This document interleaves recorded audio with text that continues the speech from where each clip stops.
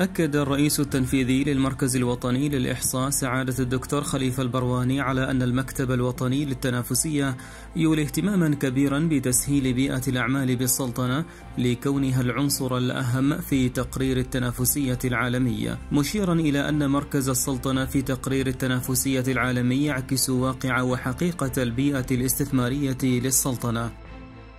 وأضاف البرواني في تصريح للشبيبة أن المكتب الوطني للتنافسية يعمل مع الجهات المعنية على معالجة نقاط الضعف التي تعاني منها البيئة الاستثمارية في السلطنة والعمل من خلال الممارسة العملية وليس من خلال المستندات والأوراق فقط. مبينا أن هدف الجهود المبذولة هو جعل السلطنة بيئة جاذبة للاستثمار وتحسين مركزها في مؤشر التنافسية العالمي. وبين البرواني أن هناك بعض الإجراءات المعمول بها أصبحت غير ضرورية ويمكن الاستغناء عنها أو استبدالها بأخرى أكثر سهولة. وهذا ما يعمل عليه المكتب الوطني للتنافسية مع الجهات المختصة بالإضافة إلى إجراءات أخرى جار العمل على تبسيطها.